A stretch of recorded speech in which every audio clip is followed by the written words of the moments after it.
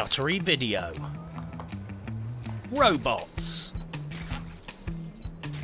More pig masks. Welcome to the Resistance. Crushingly poor performance issues. Hipsters. Baristas. Critically acclaimed voice artists. Oh my god. You have got tattoos of him all over your body, and he's just chopped you. Gig jobs. Self driving cars. Cancel culture. Welcome to Watch Dogs Legion. It's an insurgency simulator where you organise an uprising for lols.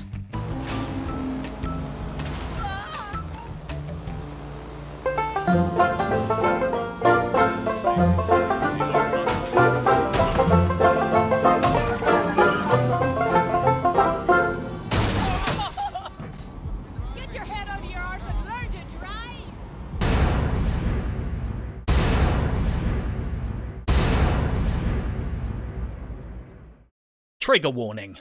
This review contains some very bad quality footage because the game ran like arse at launch. I decided to leave the footage in the review because editing it out would technically result in me censoring Ubisoft's failures. Another year, another Ubisoft game, with pig masks, microtransactions, busy work, making vaguely misguided political statements, set in an open world of hipsters, baristas, and annoying stereotypes. Who would have thunk it? Yes, Watch Dogs Legion is a video game sequel from Ubisoft Toronto, set in a post Brexit London, overrun with fascist rent-a-cops and incredibly garish outfits. Technically, this is Watch Dogs 3, the third outing in the well intentioned, interesting, but never quite successful series of hacking and smashing simulators.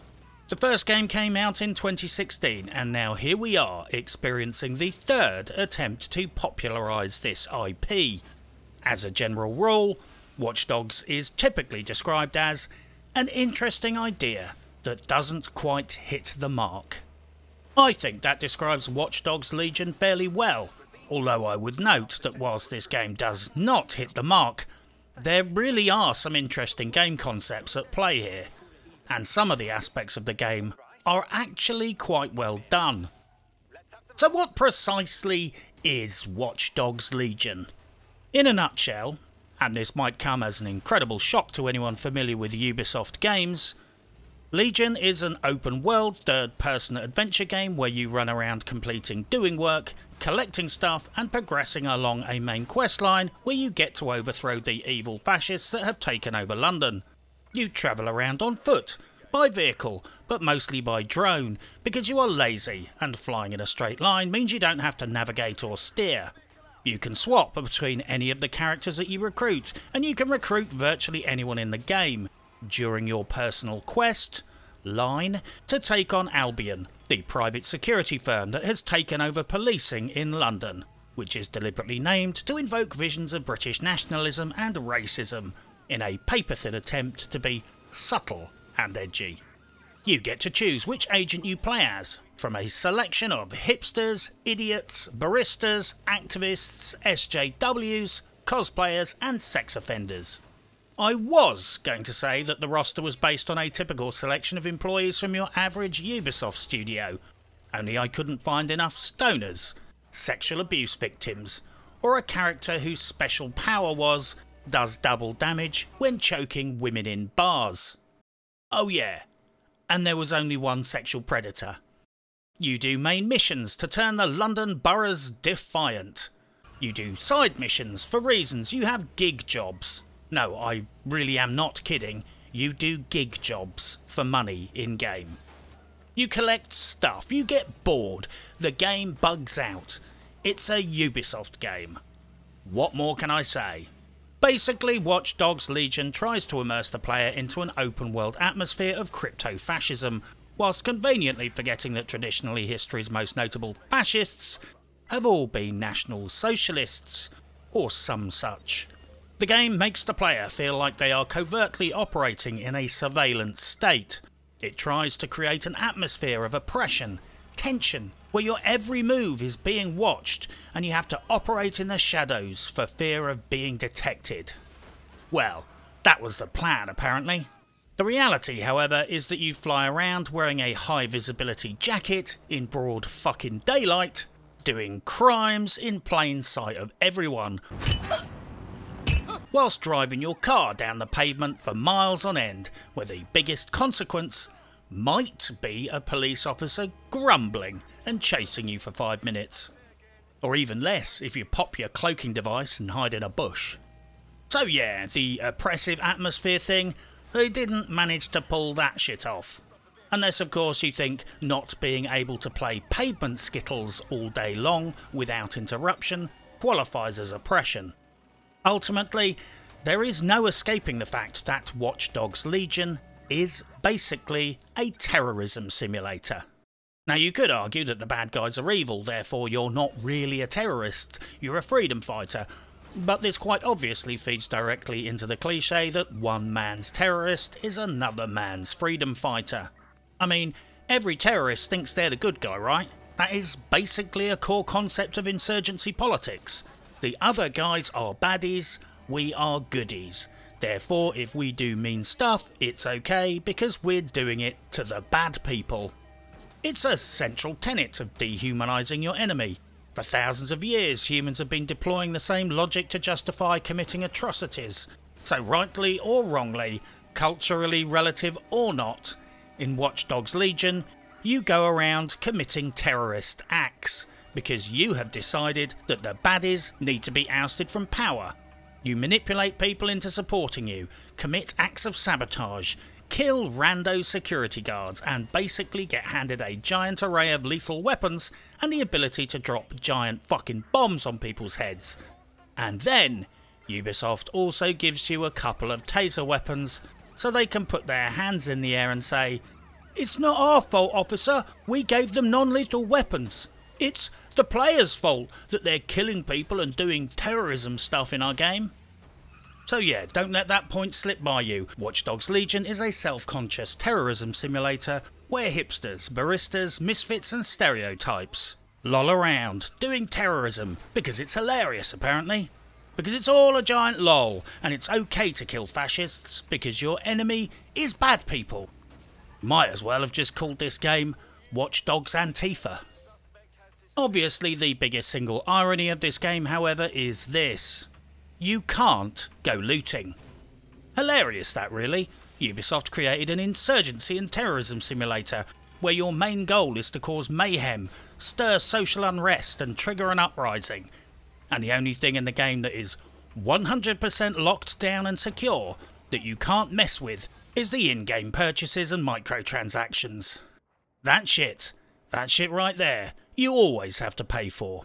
Hilarious. Some people might argue, what's the point of having an uprising if you can't go and steal some new clothes and raid the shops? I wouldn't say that, obviously. But some people certainly seem to think it's the case. All this being said, obviously the huge scope of the violence, destruction and human suffering the game enables the player to inflict on the people of London is quite good fun for a while. Dropping a two ton crate of explosive materials on someone's head from a fucking drone will never get old. Well, actually, it does. The violence in this game is admittedly entertaining, but it is not enough on its own to sustain the enjoyment. So let's discuss the functionality and fuckery. I mean, where do I even start when trying to describe the abysmal state of this game at launch? I know, I will read some headlines I found when googling the game. Watch Dogs Legion releases with grotesque performance issues and single player microtransactions. Happy Gamer. Watch Dogs Legion runs like a pig crap. Bad frame rate. Joker Productions. Watch Dogs Legion benchmarked. Seriously demanding. Tom's Hardware. Strangely, there's absolutely jack shit about it on the Watchdog subreddit. Then again, Ubisoft isn't even pretending it's not running the subreddits anymore. Not even kidding. The key binding and configuration is a masterclass of poor organisation. It reminded me of the god awful setup in Ghost Recon Breakpoint, a game where you literally had the entire keyboard mapped to something because of piss poor organisation. As soon as I tried to rebind my keys, I thought, here we go again. I'll spend the first three hours constantly escaping out to a menu to try and rebind shit that isn't set up properly. And I was not disappointed. Every time they found something to do in this game, they stuck that thing on a list that required a button. Then they just kept adding to that list until you had nine pages of fucking button assignments. Dear fucking lord, someone needs to come along before the game is released and actually organise this stuff. It's great you can literally customise everything individually, but that should be an option, not a requirement. If people like a certain movement setup and a certain button to reload, that shit should be automatically normalised across the entire game when you change the default. If someone wants to go in and change individual stuff later, then whoop-de fucking do. But shit on a stick, making us do this manually just means that for any player who does not use default settings, they just inserted an hour of fuckery between installing and enjoying the game. Well, they actually inserted lots of other obstacles to enjoying this game but more of this later. I mean, why do I have one interact key, another key to interact with a door lock, and another key to interact with a fucking camera? Think this through, for fuck's sake, because that 10 minutes of laziness results in many hours of annoyance for the players.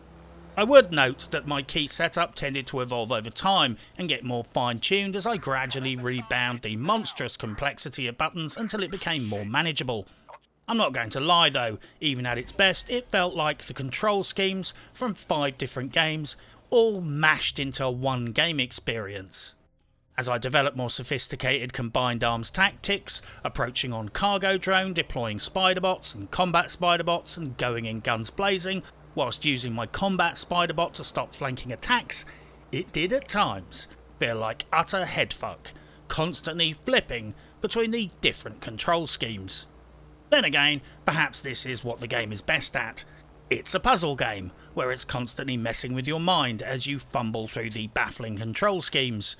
So yeah, it's probably very good for brain plasticity in the long run, but in the short term, it often made me feel like it was just melting my brain like burned plastic.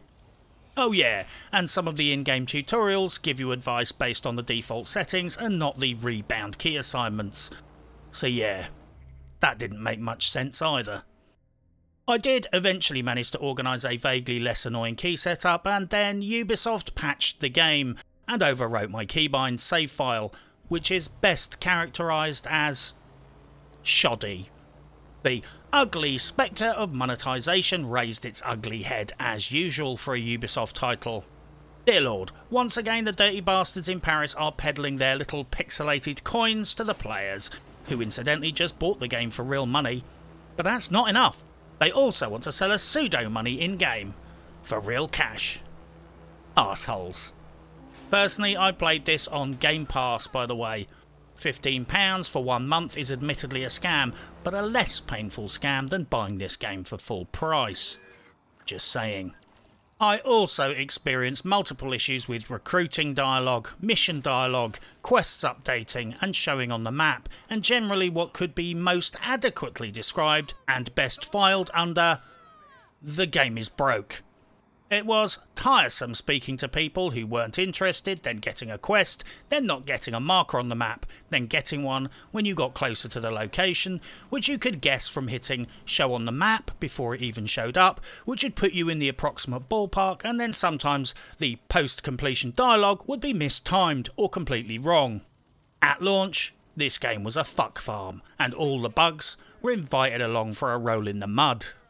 The game clearly wasn't finished and polished at launch. I'm not saying it's a beta build, but hell, the entirely weird load screens, cut video, drops to black, pauses, overlaps between interactions and screen noise all make it look like it's a cobbled together slightly unfinished mess.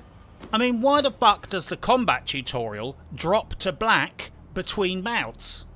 Why did interacting with the button cut off the voice? I'll tell you why. Because these were built as modular components and they were loaded up individually one at a time because it was patched together with duct tape and panic sweat at the last minute. Talking of optimization, running this game on an above average video card, the graphics ran like shit. And I had to turn everything down, turn off ray tracing, or my high speed rampages would result in stutter and lockup. There is no escaping the fact that this game ran like a fucked cat on launch day.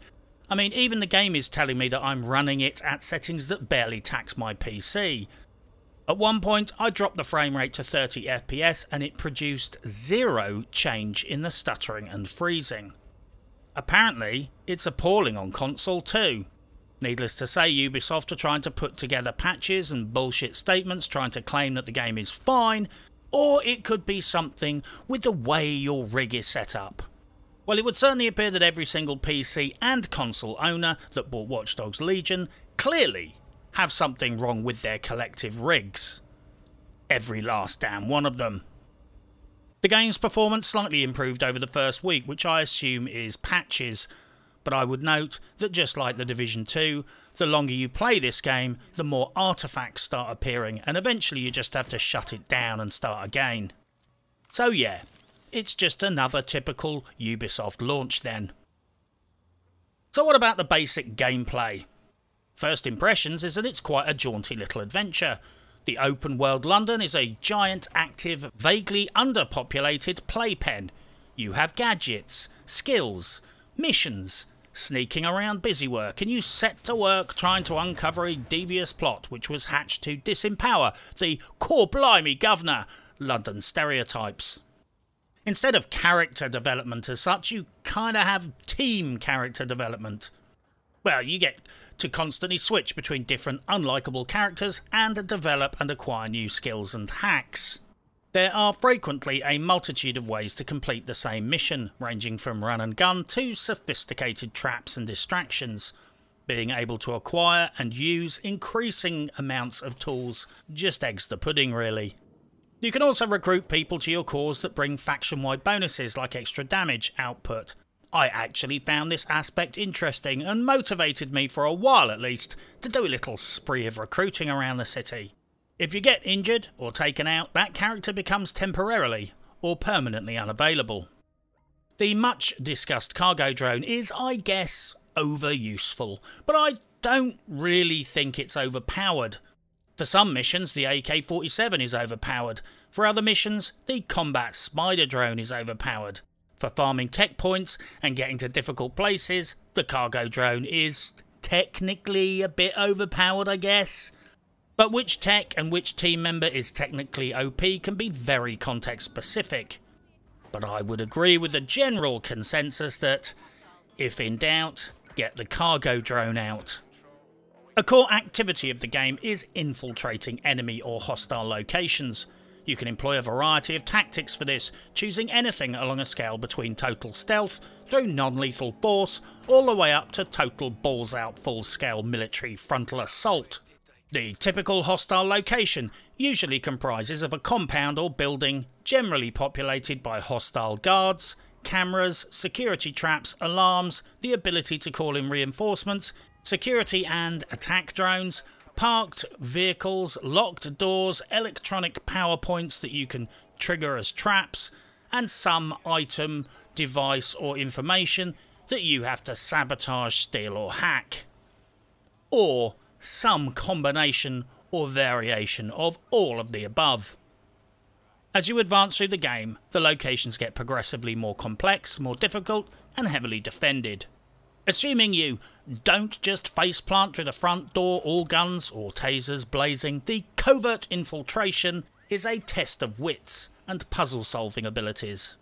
By hacking an exterior or nearby camera, you can then jump from camera to camera, reconnoitering the facility and jumping to and from the cameras to other devices.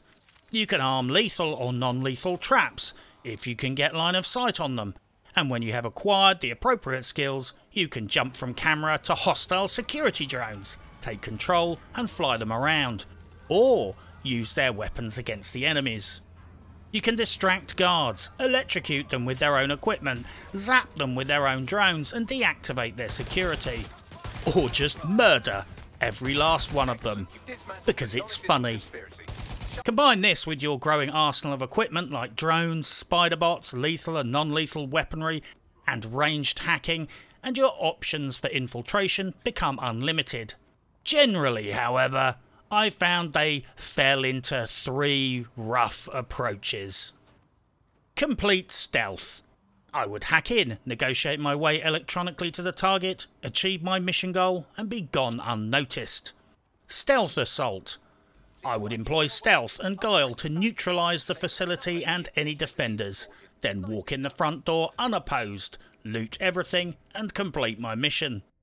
And lastly, carnage. I would walk through the front door with either a weapon or a non-lethal weapon and use brute force to neutralise the facility's personnel. Although if I'm honest, even when I did this with non-lethal taser weapons, somebody usually ended up getting blown up or killed by accident.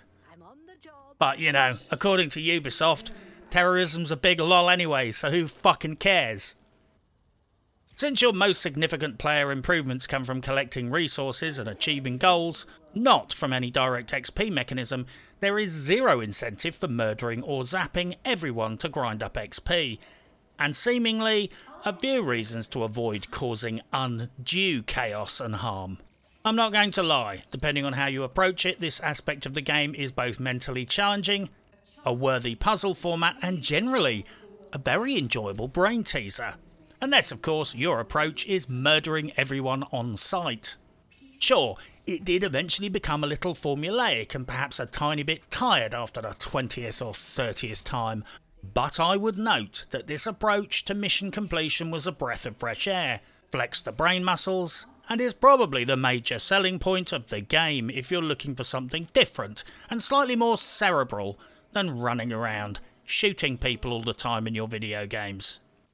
Then, of course, if you do want to be a complete douchebag, you can just fly around on your drone, drop heavy containers on people's noggins, smooshing them into paste until they call reinforcements, and then pulp those fuckers too. Then drop yourself off on the roof, pull out your AK, and get to work, making sure the orphanages have a busy Christmas this year. But you know, you can't have a terrorist uprising without smashing a few skulls according to Ubisoft at least.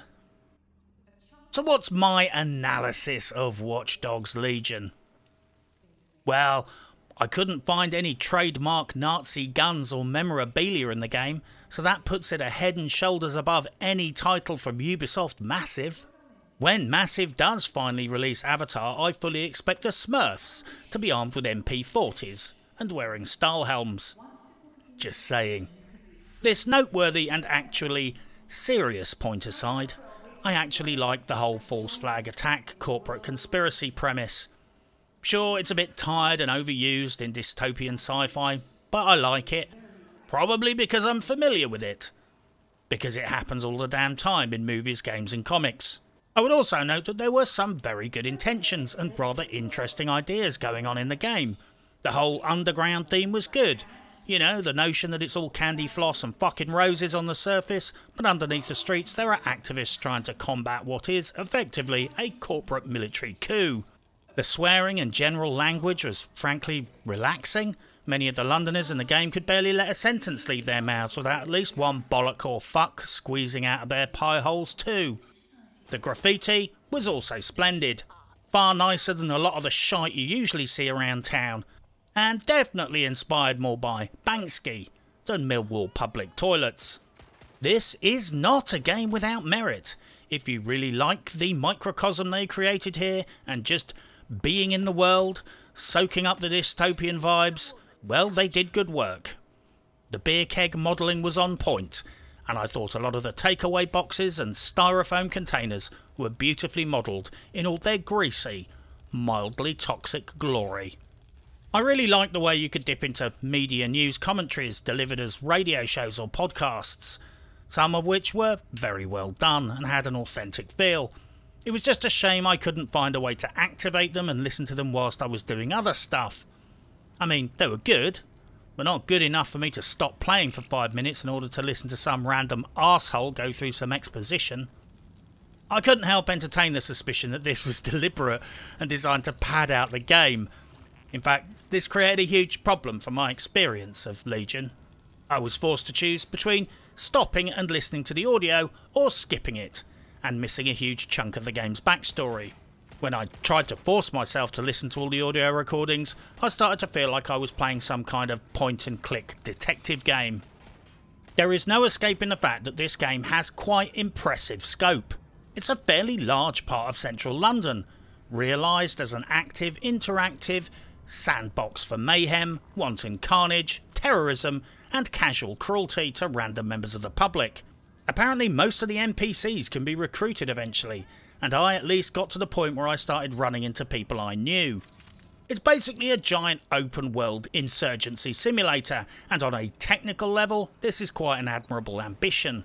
It's just a shame that in this particular open world, they have decided to portray London as a city of grumbling, closed minded shitheads desperately in need of hipster misfits and cosplayers to save us from our own ignorance and bigotry. It's basically the hipster Antifa woke equivalent of white saviour syndrome. It's vaguely offensive, arrogant, and patronising, all at the same time. The safe house environment was really creatively done and full of eye candy. But I ain't gonna lie, when I realised that this was yet another Ubisoft game with safe house mechanics, I sighed, groaned, and let out a little ironic laugh. And anyone claiming your actions have consequences might be taking the piss a little bit.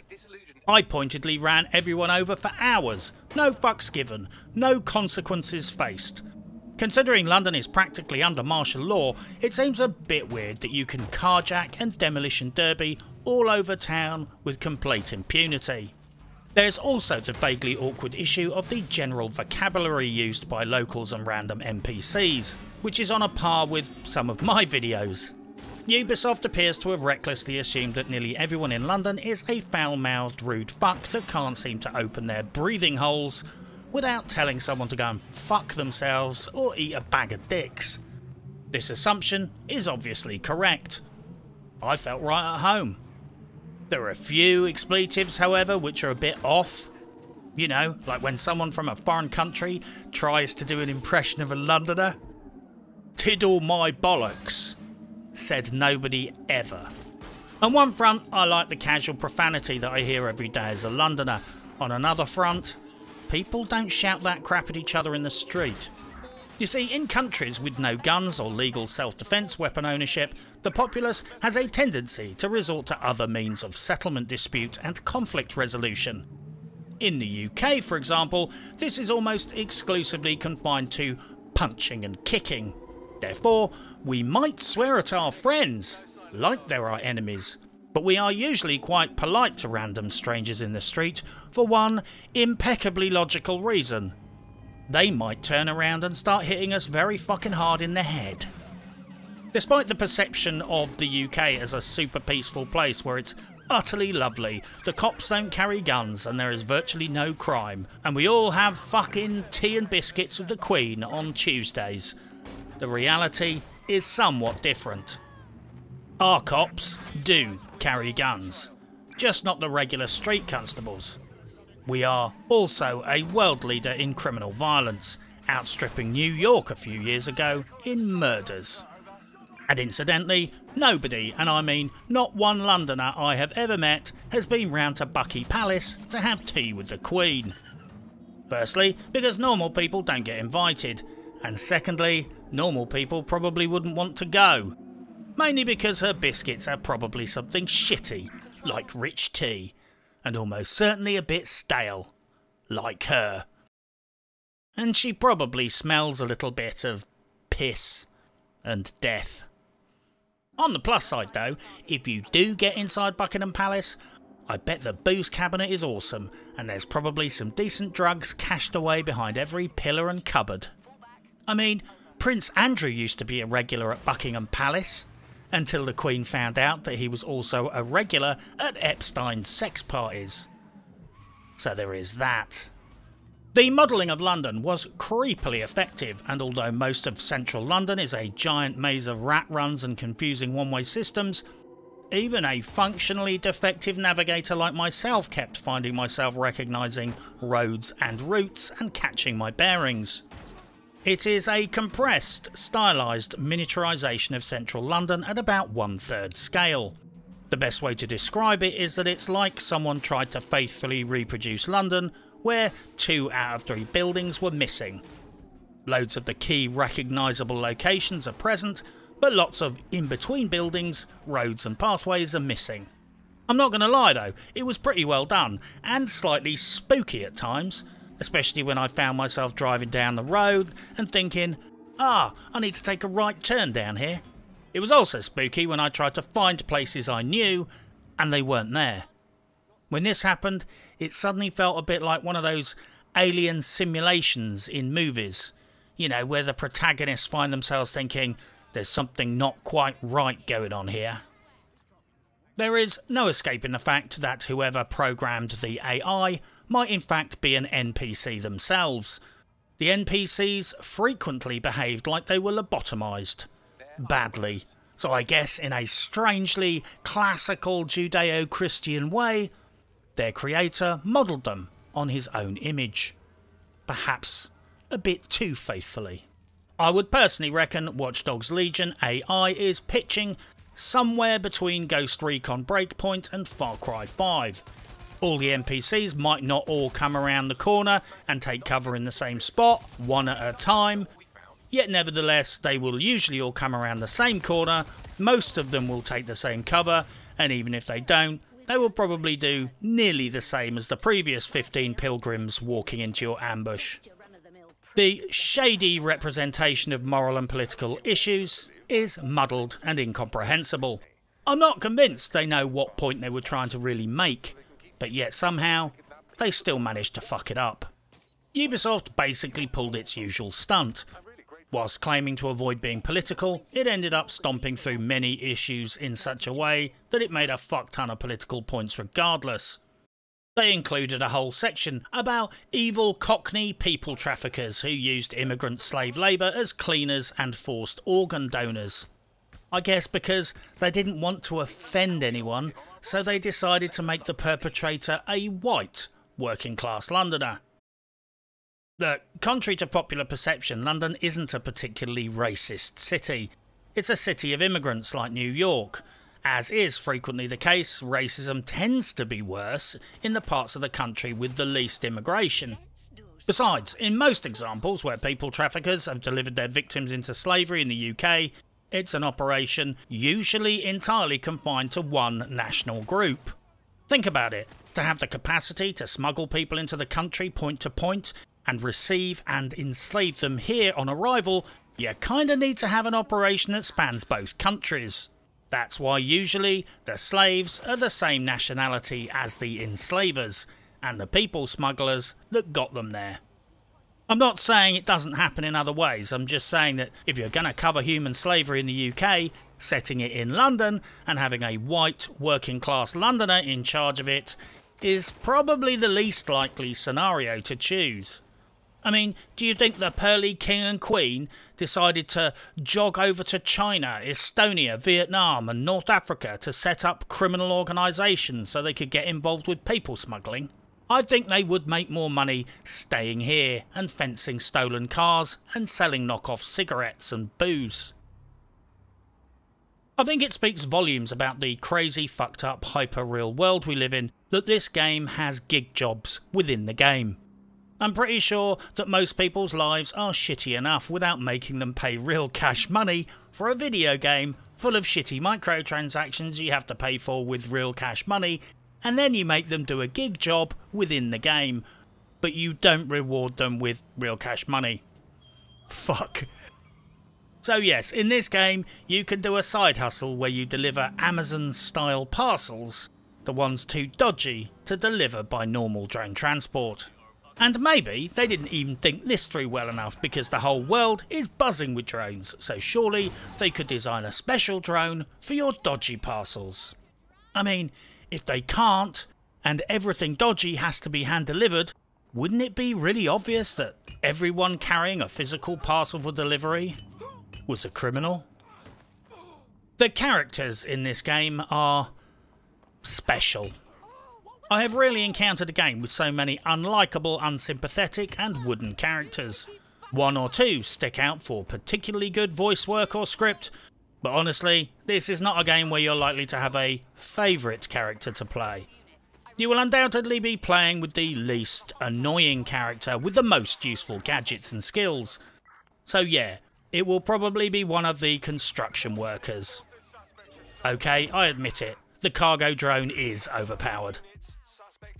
It's actually strange that artistically this game seems to worship London, but ideologically it's simultaneously taking a giant shit on the city.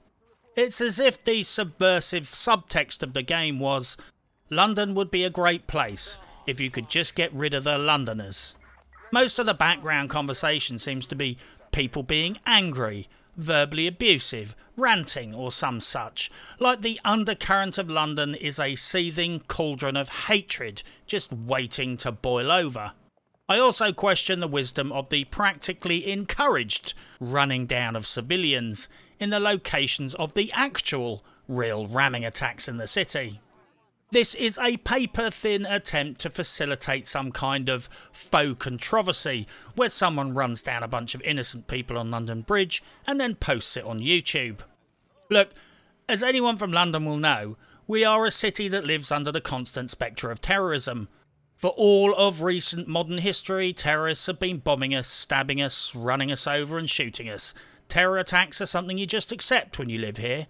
So, yeah, it's a bit fucking stupid to make a game which is essentially a terrorism and insurgency sandbox game and set it in London and give it a strong anti Brexit theme. Whatever your views on Brexit, London has been under perpetual terror attacks for over half a century. So, frankly, this renders the whole premise of this game strangely off kilter. This aside, you are recruiting from the same population that you are trying to win over, so there is somewhat of an incentive to use non lethal force. I'm not sure how much of this is flavour and how much of this is real game mechanics, but I certainly opted for less lethal force as I advanced through the game.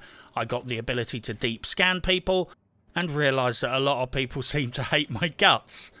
No change there then. So for a short while at least, I tried to do slightly less wholesale murdering, so that people liked me more. Another big problem with this game is that you don't really care how this is all going to end. All the games I've finished have been for three reasons. One, they were so addictive I couldn't put them down. Two, I was under duress. Three, I wanted to see how they ended. The problem with Legion is that I don't really feel invested in resolving the outcome, it reminded me of the second division game, where after 10 hours of saving screeching, whining, cream puff hipsters and baristas in the sweaty city, you end up feeling less sympathetic about their plight and start sneakingly hope they do die. Or at the very least, learn to collect their own fucking water and screws. It's a story where everyone is potentially an annoying recruit to your insurgency, the enemy is evil fascist, scumlord, anti immigration, right wing racist fuckbags. But, and this is a big but, apparently every single last motherfucking NPC in this game is potentially recruitable if you can manipulate them. It's kind of hard to maintain this good will overcome evil narrative when the entire game is structured around the pretext of the enemy are scum, unless you can recruit them, then they magically become your bestie. And that's the thing about insurgency and counterinsurgency. It's got nothing to do with good and evil and morality, who is right and who is wrong. It's just sides in a conflict. It's just a means to achieve power, just like the group Albion did at the start of the game. And let's face it, you as a player character are no better than Albion. Because if you can manipulate people into joining your side, then they are now your friends. If not, they are expendable. Fuck, they're expendable either way. We are supposed to unquestionably position Albion as the villains of the story and our organisation DedSec as the heroes. They are bad because they facilitate and participate in hateful crimes and actions. We are good, even though we constantly engage in car chases, running down innocent pedestrians, dropping crates on people's heads, and killing security guards. The moral dimension to the game doesn't really make sense. I personally committed vastly more carnage in one hour than Albion does in the whole damn game. But they're the bad guys. If Albion threw me in prison, the death rate for pedestrians certainly would plummet instantly, and London would be, frankly, a lot safer. Just saying. I mentioned earlier how people bandy around the word fascist too easily, but maybe that's the point of this game. Both sides are fascists, in a sense. You just get to decide whether you continue to play long enough to replace one regime with another. You just get to pick which group of totalitarian unelected thugs run the show. I think this game suffers from what I can best describe as Death Stranding syndrome. It's defective and suffers some huge flaws, but there are some seriously excellent concepts at play nevertheless. And just like Death Stranding, a lot of gamers will find the prospect of buying it very unappealing, and many players will find the experience very, very boring. But some players who find this game world and busy work satisfying and comforting will happily get lost in Legion for hundreds and hundreds of hours. Believe me, they will. If this game clicks with you, you will play it for months. Death Stranding was a game I could bitch and moan about for a whole hour, but nevertheless, I played it for several hundreds of hours. Legion is a fuck pie of a mess too, but some players are going to get seriously engrossed in the deeper levels of the gameplay mechanics, even if they don't result in much more than the satisfaction of knowing they exist and knowing that you utilise them correctly. A small subset of players are going to cap this game then crank the difficulty and turn on permadeath and do the whole thing a second time, more masterfully and more subtly. After coming to this conclusion, I thought about it and realised it's an incredibly odd coincidence that both games are linked to and promoted using the rhetoric of the Brexit discourse.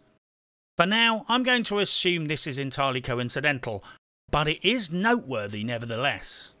Unfortunately, however, once you find your groove with this game and start to build your own agenda and priority list, you can very quickly find yourself locked into a cycle of loading screens where you can't be bothered to drive, don't have the inclination to walk, it's too far to fly on your slow cargo drone, so you just fast travel via the very slow loading screens.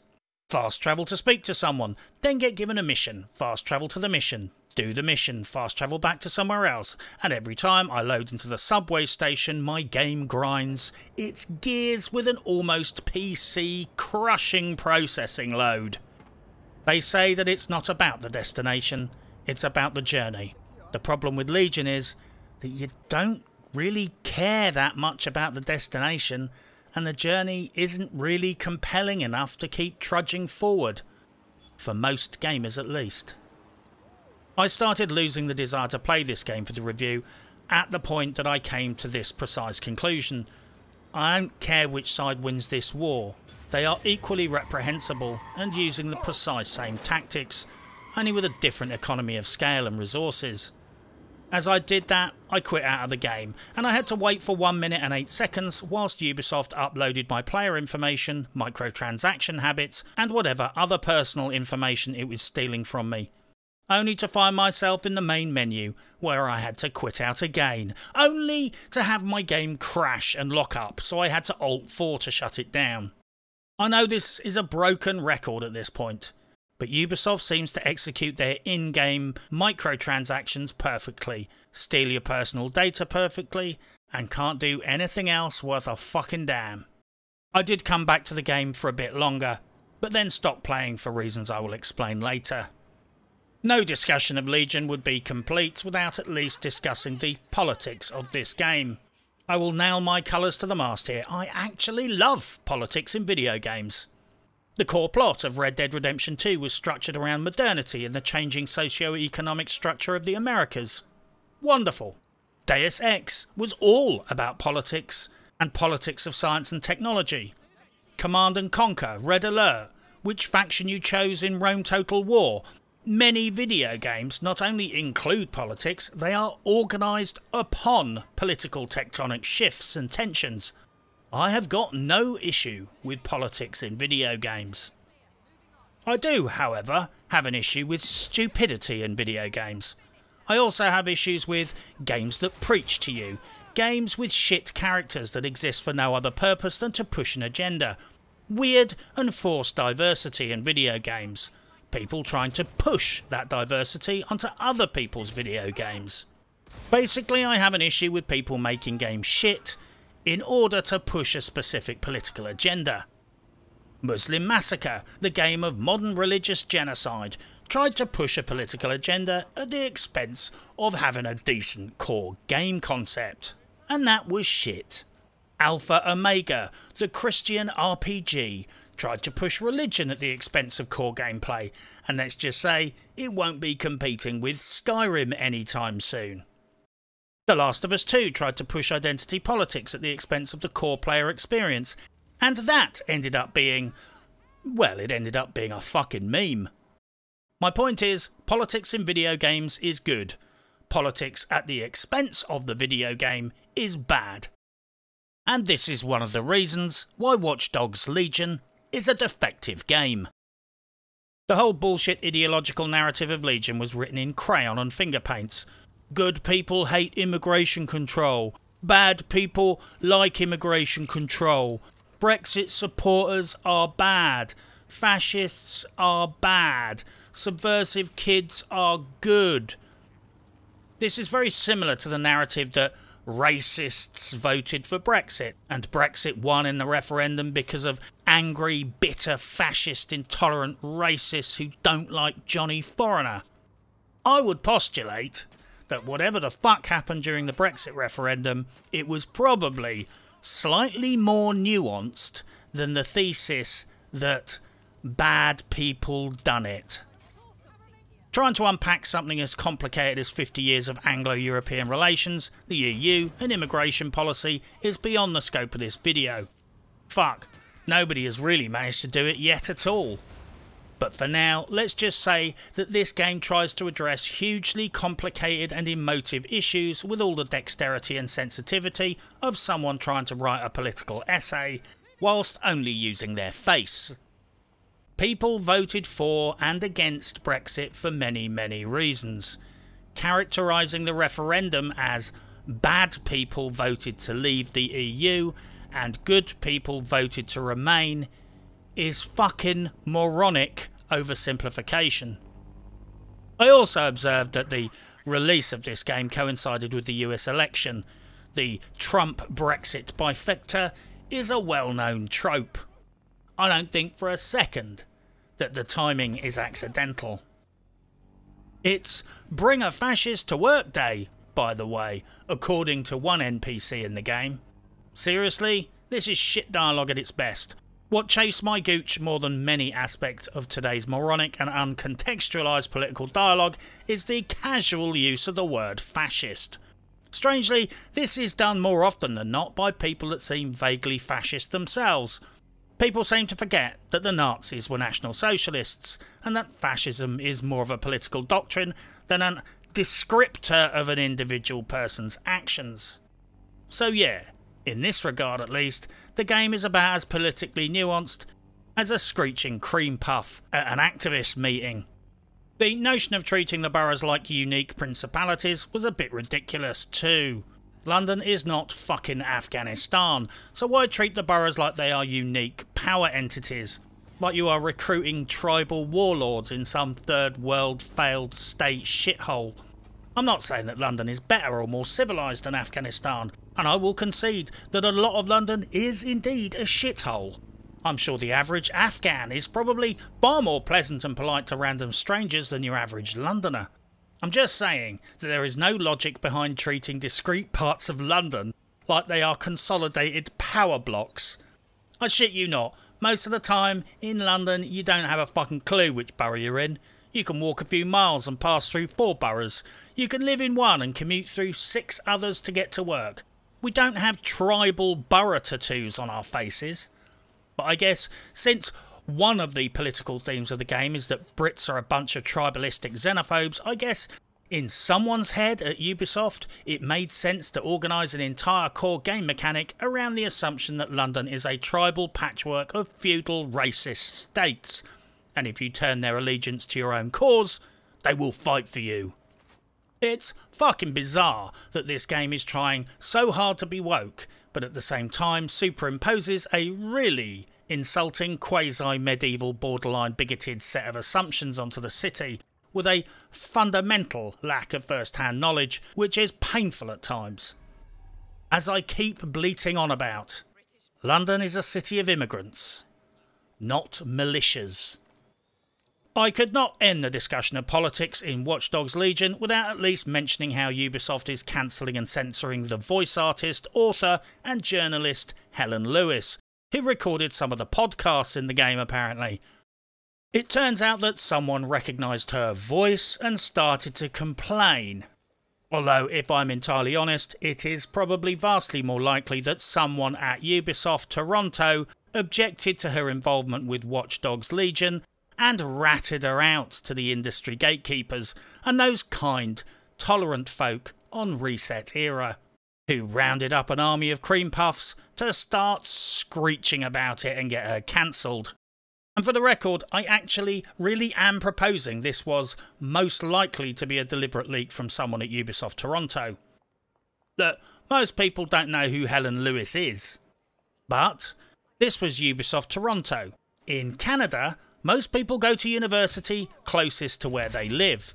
Toronto University students will be oh so familiar with the controversies surrounding their most famous professor, Jordan Peterson. And anyone intimately familiar with Peterson will have most likely seen his GQ interview with voice artist, author, and journalist Helen Lewis.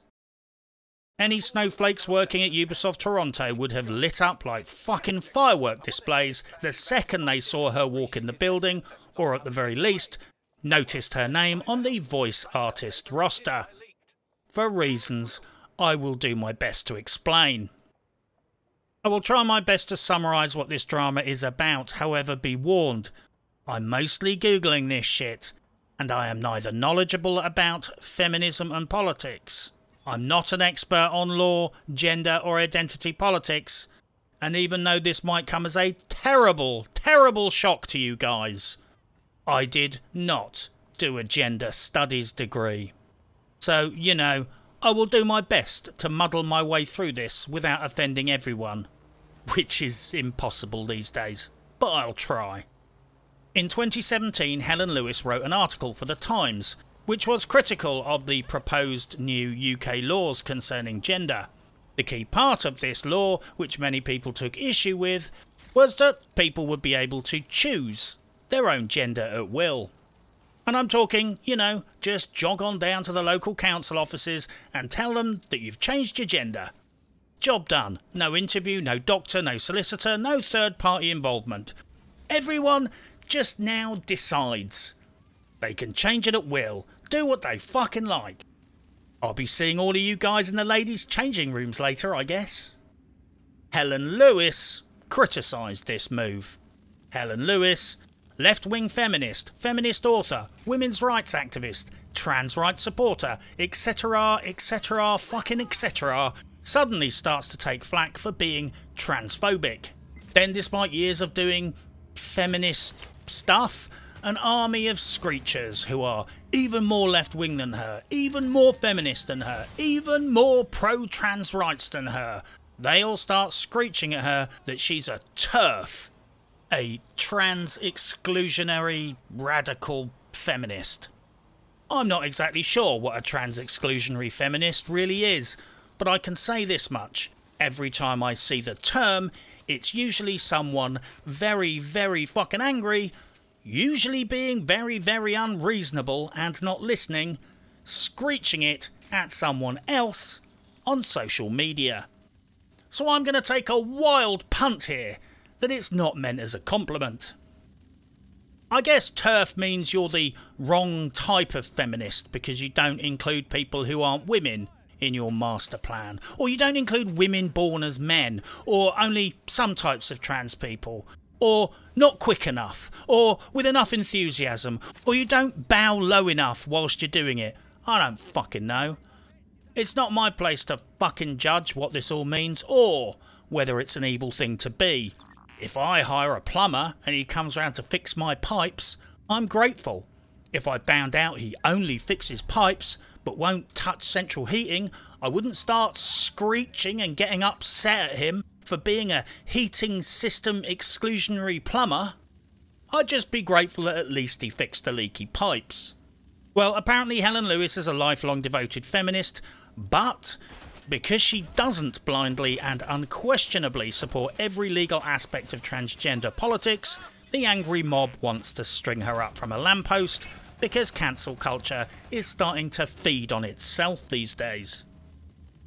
So ResetEra got her cancelled. They caught their victim and got the taste of blood in their mouths yet again, and her contribution to the video game is being edited out in a patch.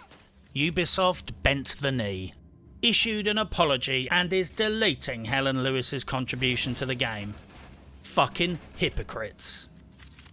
So yeah, Allegedly, Ubisoft makes a terrorist simulator, bullies their staff, puts kiddie gambling in video games, has managers drug, choke and sexually assault their employees, uses their HR department to punish accusers, and is currently doing PR with individuals who were busted for allegedly running a bent gambling scam. Those guys, those guys, won't do business with Helen Lewis because she doesn't align with their values.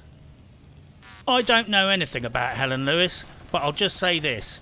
If she doesn't align with Ubisoft's values, frankly, she just went up in my estimation. And regardless of her political beliefs, anyone who is prepared to go toe to toe with an intellectual Goliath like Jordan Peterson, at the very least, has some balls and deserves some degree of respect. Count Dankula. That's the one. right, but he did actually. I mean, that, that he. That was a joke.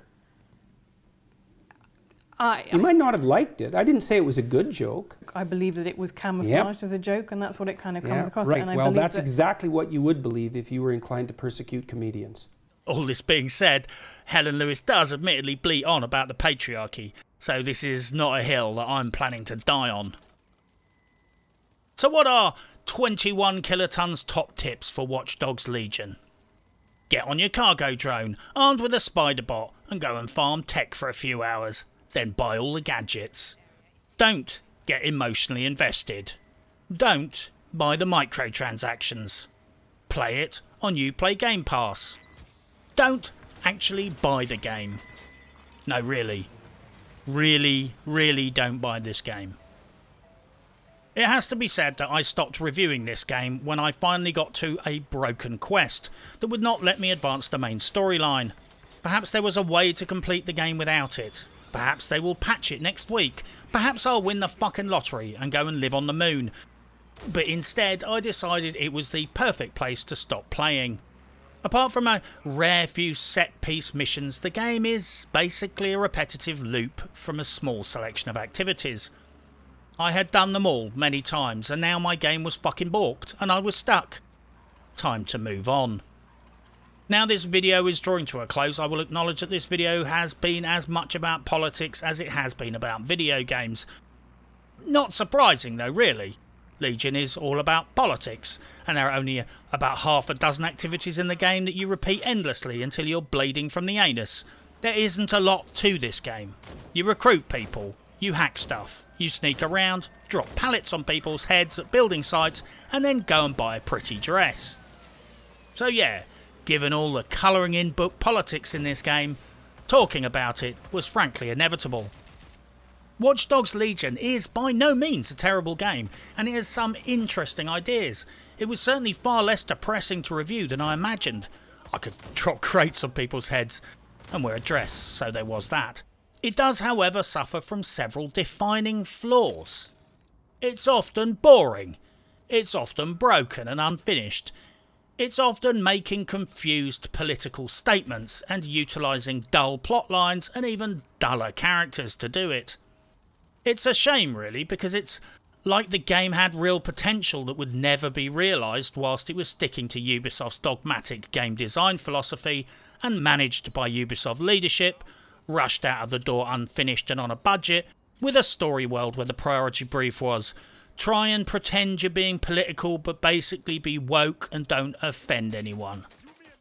I'm sure if I kidnapped all of the developers that worked on this game and dumped them down at another studio with a bigger budget and some completely unfrightened, no fucks given decent writers, this could have potentially been a great game. I will qualify, however, I don't blame the writers for how this game turned out. I'm sure, like most video game writers, they were brought in late, told not to piss anyone off, offend anyone, be too controversial. You know, like trying to write porn fiction that wouldn't offend your nan. You can't be creative in that environment. I'm sure they did their best within the confines of Ubisoft's bizarro management and design structure. I said structure, but I really meant gulag.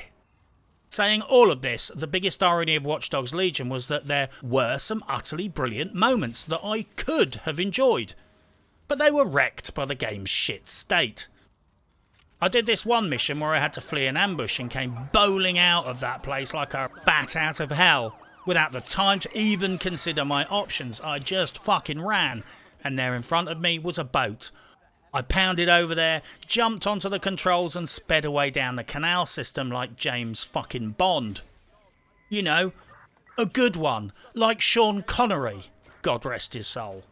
However, just as I was getting fluffed off by this set piece saccharine coated masterstroke, the shitty game performance kicked in, it couldn't handle the pace of the vehicle, and the game started jittering and then micro freezing, and I kept losing control of the vehicle whilst I overcorrected the steering during the freezes and started bashing into the sides, then bashed into the weir, then the janky game physics took over, and instead of James fucking Bond, I ended up looking like some drunken tit trying to ride down a water slide on an inflatable ring. Even when this game was being so awesome I was about to be impressed, the systemic structural corporate problems of Ubisoft as an organisation jumped out on me like some kind of video game vampire and still managed to suck the fucking joy out of the moment. Ubisoft now only makes one game. It's a mishmash of The Division, Ghost Recon, Assassin's Creed and Watch Dogs. They might change the location, the historical setting, the character skins and weapons. But it is, let's face it, the same game. It's a third person fuck around time sink semi open world game where you run around, take cover, have a pulse, location skill, you do puzzles, do the same basic four quests, check out echo reconstructions of past events, and collect nonsense. Legion is a more inspired version of this, but it is still this. The problem isn't just that Ubisoft only remakes the one game repeatedly, it's that they are doing it increasingly badly, with a decreasing budget, in a death spiral, like a shot up, burning World War I biplane. Video game technology has moved on, and this one trick pony is out of ideas, constantly cutting budgets to save money, and is dropping out of the sky at an accelerating speed. Watch Dogs Legion perfectly sums up the state of Ubisoft as a corporation. It's tired, uninspired, boring, and made on the cheap. But it could have been great. All this griping being griped, there is something here. I'm not saying it's a good game, I'm certainly not suggesting you buy it. But I would strongly advise anyone interested in doing more than just shooting their way through their virtual video game worlds to at least try this game when it's fully patched, either on Uborg Game Pass or when it's heavily discounted there is something interesting about this game's core concept that even Ubisoft couldn't stamp out during the development process. I think the best way to illustrate just how far Ubisoft has disappeared up its own arse right now was shown to me by Sir Grumpsalot. Ubisoft is a corporation with a track record of structural corporate sexual abuse. They put kiddie gambling in their games. There are pedo caches in all of their full price titles, yet they still showboat about cancelling a feminist for not being feminist enough and in the right way. But still find time to make jokes about having paedophile NPCs in their games. I'm sure some forensic psychologist once noted that serial killers always like to leave clues because deep down, unconsciously, they want to get caught so they can show off just how much fucked up shit they really got away with. Well, now Ubisoft are putting paedophile NPCs in their games for lols. So you can recruit them. That's a big red flag. Right there. But for now, good luck and happy hunting.